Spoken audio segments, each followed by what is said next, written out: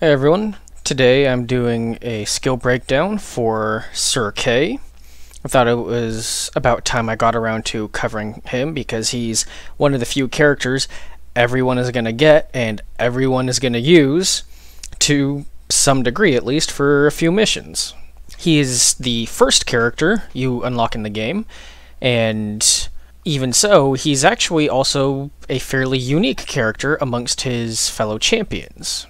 He has a couple of interesting traits that I think are worth mentioning.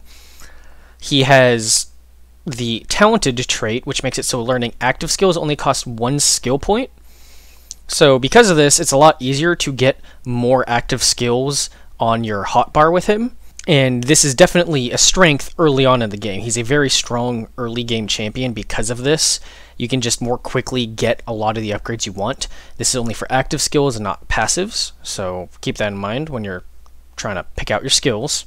And he even has a facility title here to provide a bonus when he's assigned to the hospice. This upgrade isn't like huge, but it definitely helps. His negative trait though is a little tricky minus one loyalty when going on a mission without full vitality. If you're playing on the higher difficulties, hard or very hard, early in the game, before you really sort of get your ball rolling, you find yourself taking vitality damage a lot easier and a lot more often. So to prevent yourself from losing a lot of loyalty on this character, you find yourself having to stick him in the hospice even if he's only missing one vitality, so that can make him a little annoying to use at the same time. Enough of an intro though, let's just start talking about his skills. In Tier 1, he has the mostly standard stuff with one exception. For the basic stuff, of course, we have the Strike for 4 AP, 100% damage. Open Wounds causes bleeding, 15% dot. And bleed is actually very good early on in the game, so this is a decent upgrade if because I generally consider Sir Kay an early game champion. I don't use him much later in the game. Not that he can't be. So this is a good upgrade to go with. Strong Grip plus 15% weapon damage, Reeling Blow for 20% vulnerability, and Glory Kill to reduce your cooldowns by 1 after killing an enemy with Strike. For his unique ability, this is an ability he shares with only two other heroes in the game, I believe Death Strike. This is a very high damage ability, 170% base damage. I'm pretty sure that's the highest in the game, but it has minus 20% armor breaking. So even on a champion who has higher than normal armor breaking, this can very easily break no armor. And it gets damage penalties for each point of armor that they have. So you only want to use this if they have no armor. It's okay using it if they're maybe prone or getting a backstab, but it's still generally no armor. With upgrades, Rending Blow increases this by another 15% to the weapon damage, Bloodletting for another bleed effect, Swiftness to reduce the cost by 1, which brings it down to 4, so now it costs the same amount as a normal strike, and then Fast Recovery, reduce the cooldown by 1, so now with a cooldown of 1, you can use this every turn. This is a very good move for just dealing raw damage, but it's just situational, so you need to be careful to not use this when armor is present. Then we have the standard cleave, 75% damage to the 3 tile wide area, bleeder for more bleeding, severing blow, plus 20% damage to the center target, momentum for 15% damage to all targets, and then hack and slash giving it knockback. This is primarily a defensive talent choice. Of course, we have rage, which is the sort of hallmark passive ability for champions 10% stackable weapon damage for two turns after every kill, plus 5% to this damage bonus with extended rage, giving it 15%. Anger management, it lasts an extra one turn. Bloodlust, you now get AP back on your kills to help extend the turn longer. And Blood Rage, you get some HP back when you get a kill. This is never really super high scaling wise, in my opinion, so usually not something you take unless you just have an extra skill point laying around. Then for the last three passives, Juggernaut, plus 5% damage for each tile you move.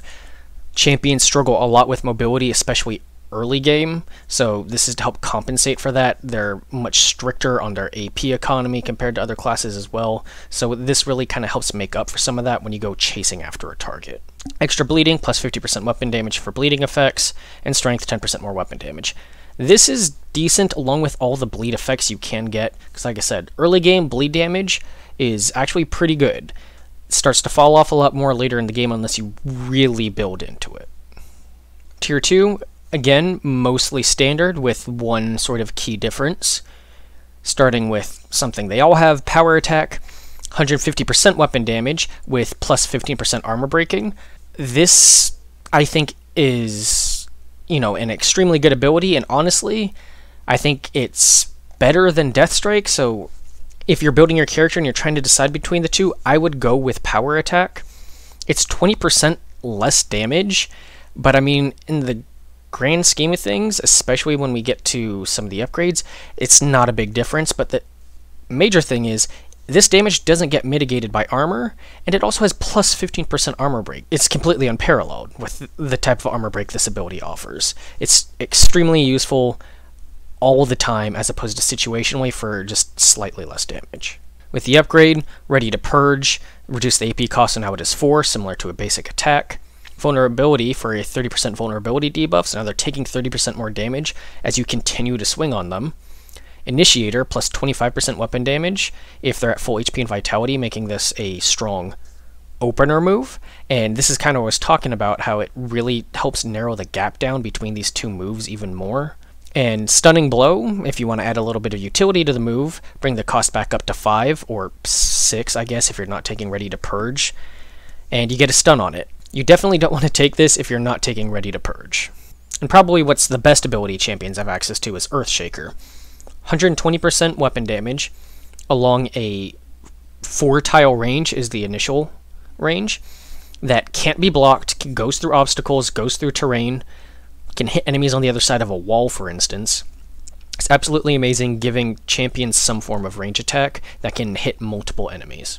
With the upgrade of magnitude, it causes knockback. This, I don't think, is great even as a defensive tool because it's a line attack generally, so you're not gonna get many enemies that are close up where you generally want to knock them back.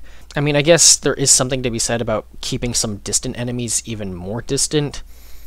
There's just better upgrades, I think for any champion build to invest into actually dealing damage. With Ground Surge, plus 15% weapon damage, Earth Splitter, plus 2 range, this gives it that 6 range, and Stumble, now it causes a slow. We have Vengeance, which is plus 10% weapon damage against enemies that hit Sir Kay. This is just a useful damage buff to try and get your first initial kill rolling and start getting those rage stacks. A lot of the upgrades here are sort of high risk, high reward, and revolve around having less health. I don't really prefer this kind of style. I think it's unnecessary, but they are admittedly powerful if you want to follow into this. The first one is Berserk, plus 2 AP if you have no HP. That's a very significant AP boost. Avenger, this one's actually a pretty universal one that you can take pretty much all the time. Plus 1 AP if you took at least two hits. This is very easy to do, and these two hits can be like shots from archers or just some like little weak scrub that hits you for like no damage. This is very easy to trigger. There's no reason not to really take this. Frenzy, you do more damage the less HP you have with up to 30% with no HP, and 30% is a huge amount. So again, very powerful if you want to try this out. I've never really liked it. In Combat Fever, plus 5 Unbreakable Armor if you have no HP. This is okay. You're definitely going to want more unbreakable armor from other sources to really make this worth it because by the end game, 5 is not enough to matter.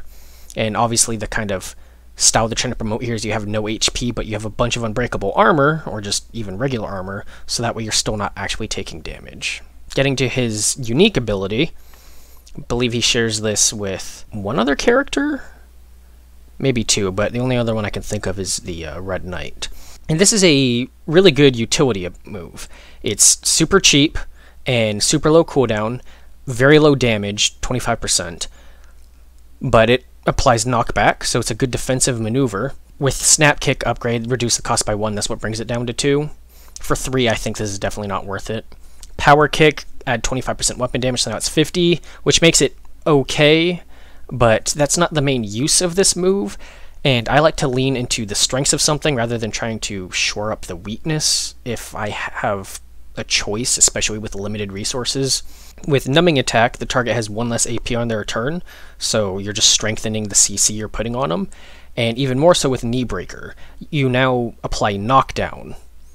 So when you kick them, you knock them back, and they are knocked down, similar to Shield Charge, and they also have one less AP afterwards. So this is a very good, sort of spammable CC that you can apply at close range, and it's very powerful. Knockdown is one of the strongest status effects you can use on an enemy because of the huge damage bonuses you get against a knocked down target.